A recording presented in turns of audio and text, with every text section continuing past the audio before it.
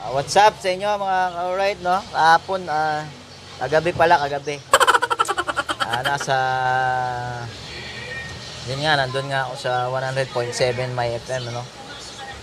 Ah, naimbitahan ako ni DJ Don Primitivo. So, papakita ko sa inyo kung ano, ano mga nangyari nun. Pero bago ang lahat, ah, thank you dun sa mga nag-comment. Yan, mga nagpa-shout dun sa post ko. So, maraming maraming salamat sa inyo. Ah, papakita ko sa inyo yung mga nangyari doon. So, yan.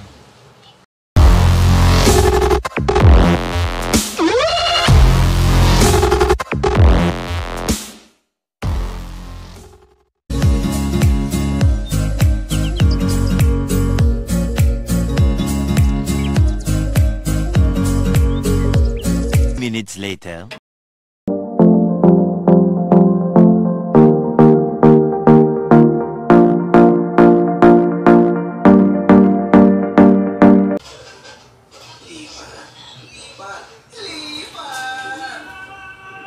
Yung may mga tutugin ko. Yung may mga patutugin ko. Pakulo. Mamaya, kaya rin. May mga patutugin ako. Paborito ko yun. Kuya Japet nilagay ko. Okay lang. Pero mamaya, babanggitin mo rin yung vlog. Uy, may tumatawag sa'yo. Alam mo niya. Magpaalam ka ba sa kanya? Oo, oh, ba? Anong sabi? Okay lang yan. Ah, ano wala daw umuwi. Oh, sabi mo. Sabi ko alas 11. First time ka na, kahit ako Oo, yung first week na. Kahit ako may kumausap sa Pero parang nga. Wala namang babae dito.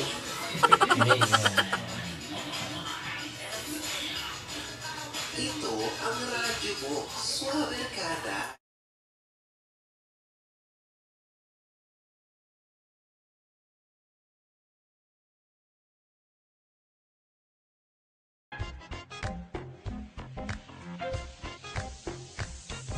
So ayun po no, ah, tapos na po ang aking pag- bisita dito sa 100.7 My FM, Kaswabe. So, papasalamat lang ako kay DJ Don Primitivo. Ito siya.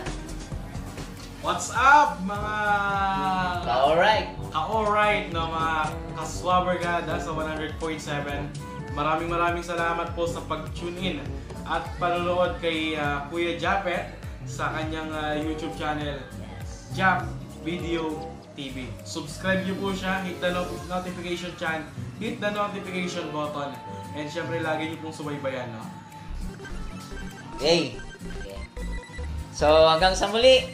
Maraming maraming salamat doon sa mga ah, mga nag-comment, nag-share, yan. Doon sa aming live FB.